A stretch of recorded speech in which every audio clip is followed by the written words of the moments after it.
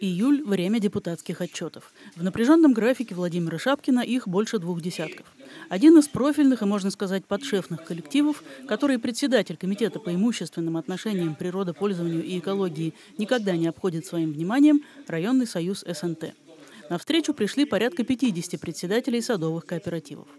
Депутат начал с актуального. Продолжается специальная военная операция, и без поддержки властей не остаются ни ее участники, ни их семьи, которые закреплены за депутатами всех уровней, ни жители воюющих регионов. Владимир Шапкин поделился, что радует настрой наших бойцов. К сожалению, это война, и поэтому двое, в моей статистике, двое раненых, один тяжело ранен, но самое главное, тяжело раненый в марте месяце, выздоровел и умчался туда сказал, я там, ребята остались, нужно завершить дело, мы их обязательно одолеем, победим. Второй год с палочкой пока ходит, ну тоже рвется туда. Владимир Шапкин проинформировал о том, как в Московской области реализуются целевые программы, касающиеся всех отраслей, а их вместе с подпрограммами 67. Как они работают в городском округе Щелково. Нашли место в отчете «Экономика и импортозамещение», «Культура, спорт и здоровый образ жизни», «Экология и переработка отходов», «Строительство, а теперь еще и капремонт школ и детских садов», «Дополнительные выплаты педагогам». На особенно актуальных для собравшихся вопросах Владимир Николаевич остановился подробно. Как и где лечиться.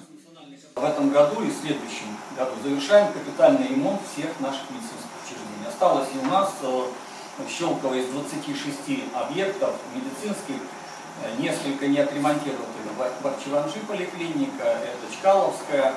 Сейчас мы заканчиваем Медвежьих озерах, капитальный ремонт и так далее. Вот э, это одна из главных э, задач. Оснащение оборудования медицинского. В 2024 году мы эту программу завершаем. Она сейчас идет очень хорошо. Это э, цифровое, цифровая аппаратура, медицинское оборудование, а, вся аналоговая будет заменена. В подмосковном здравоохранении есть одна особо острая проблема – дефицит кадров. Еще нужны две с половиной тысячи врачей и пять тысяч медсестер. Один из способов решения – выделение жилья. И тут наш городской округ оказался, в хорошем смысле, на первом месте. 97 привлеченным врачам предоставили квартиры. Кому-то выплачивается компенсация за съемное жилье, кому-то выделяется земельный участок для строительства дома. В этом году ожидается, что в Щелковские больницы и поликлиники придут первые выпускники, которых муниципалитет направлял на учебу.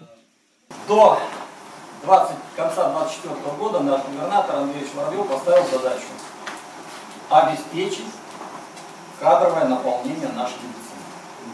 Для того, чтобы убрать этот вот раздражающий э, фактор. И э, хотел бы сказать, что в некоторых сферах мы здесь достигли полного, что называется, обустройства. Первое – это перинатальные центры и родильные дома никаких проблем нет и жалоб оттуда практически не поступает. У нас заработала в хорошем смысле наша скорая помощь, где мы заменили весь практически автопарк. Как доехать до своего дачного участка? Наряду с ремонтом и строительством автодорог в регионе и муниципалитете в Щелкове заметный результат дала программа «Дорога к СНТ». 36 километров асфальта связали город и дачу. Как жить в садовом товариществе с комфортом? Работает программа социальной газификации. 2811 домохозяйств подсоединены. В 2023 году такая же цифра. И в 2024 году мы планируем ее завершить для того, чтобы формируется уже сейчас э, программа и есть, э, так сказать, планы на это. Газификация СНТ, ДНТ, коттеджных поселков, потому что люди перемещаются жить на землю. Владимир Шапкин озвучил ряд задач на ближайшую перспективу, которые ставит губернатор Подмосковья Андрей Воробьев. Еще четыре амбициозные задачи на перспективу, озвученные нашим губернатором. Андрей Юрьевич Воробьев. Первое. Переселение из ветхого жилья. 30% у нас ветхое жилье. Новая программа, очень денежная, но очень нужная. Ее люди ждут. 30% это много. Второе. Замена коммуникаций. 60% изношенности. Тепло, вода, водоотведение и так далее. Третье это э, ливневка. Если за прошлый год мы 47, по-моему, э, сделали, э, луж убрали, а это кольца, слив туда, а теперь нужно эту систему объединить. Вот это еще одна амбициозная программа. И четвертое я ее назвал, это лес. очистить наш. Что касается лично Владимира Шапкина, то в свободное от законотворческой деятельности время он на связи с жителями, в том числе и через социальные сети. За 22 год провел 142 приема и более 900 встреч.